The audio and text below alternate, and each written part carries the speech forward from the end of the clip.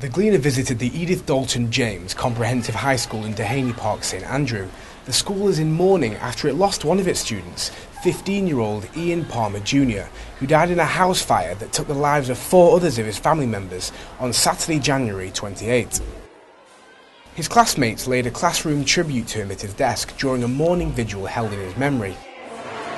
Very calm and very respectful most times and consequently many persons do not know of him because he's always just as i said quiet seen but not heard.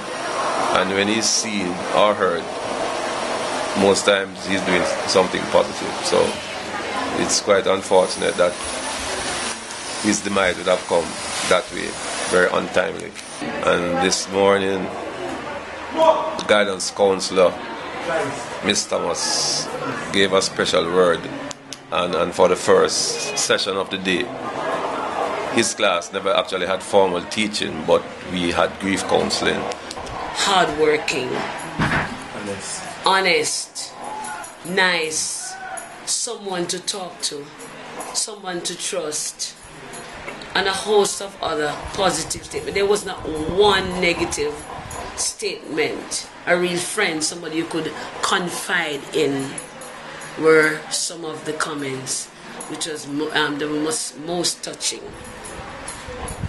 Because um, they were asked to just share, you know, since he's not here and you couldn't say this to him, um, what would you want to say? So, students, there was an outpour of what they felt um, about him and his personality was just an outpour of love and admiration. And I said to myself, this young man was in this class as a positive role model because that not one person stood up to say that his behavior was in, negatively impacted on theirs. All um, gave positive affirmations about his behavior.